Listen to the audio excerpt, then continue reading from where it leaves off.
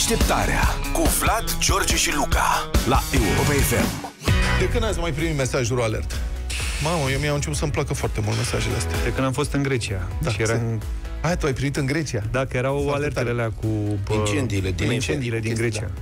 Ne mai readuc dacă ești adormit, dacă știi, în timpul zilei. Mai... E, nu ești pe nani, pe Nu-ți astea. plăcute, că te sperii. Da, da. și nu știi simți- ce s-a întâmplat, adică Simți că ești în viață, știi? îți dai seama cumva că e ceva pe lângă tine, știi? Simți că îți antrenezi mușchiul inimii. Deodată, știi? Faci câte... Pac, un sprint. Da. un Ursul, sprint, bă, un sprint cardio. Da. Asta, apropo de ursul, uh, mesajele astea, deci sunt din ce în ce mai bune.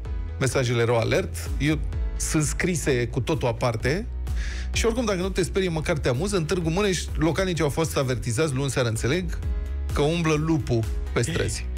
Da, deci cam Petrică și lupul. Da. A venit lupul, bă.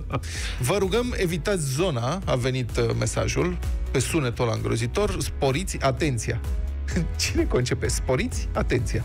Și nu vă expuneți la pericol. În caz de pericol, apelați la 112. ăsta a fost tot textul? Nu știu dacă ăsta a fost, ăsta Ah, este ok. un citat din text, transmite Observator News, s-a organizat imediat o poteră și zeci de jandarmi au plecat val vârtej în căutarea fiarei. Uh-huh. Luați lupul și băgați-l în dubă.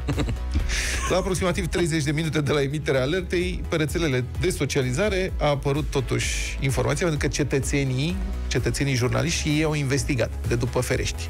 Stai puțin, că noi avem un istoric în spate. Cu ce? De după perdea. Da. da. Deci s-a uitat toată lumea să vadă Vigilenți. lupul, vigilenți, era un cățel, un câine rătăcit. Deci s-a identificat. Lupul, un câine rătăcit, practic. prins? Probabil că l-au prins cu un crem, știi?